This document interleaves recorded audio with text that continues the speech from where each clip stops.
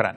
نتحول إلى تونس مشاهدينا حيث أعلنت وزارة الداخلية عن انتهاء العملية الأمنية بين ولايتي سيدي بوزيد والقصرين والتي أسفرت عن مقتل أربعة عناصر إرهابية. وأوضح العميد خليفة الشيباني الناطق باسم قوات الحرس الوطني في تصريح لقناة ميدي آن تيفي أوضح أن الكمين الذي أعد للإرهابيين كان مخططا له بدقة من أجل متابعة العناصر التي اقترفت أعمالا إرهابية عديدة. تمكنت وحدات الحرس الوطني بعد عملية التمشيط هذه من العثور على سلاح نوع كلاشنكوف وكمية هامة من الصواعق والفتيل المعد لصناعة المتفجرات كمية هامة من الذخيرة وستة مخازن معناها اللي هي boîtes chargeurs تابعة لسلاح كلاشنكوف كما لقينا زاد هواتف جوالة ووثائق شخصية.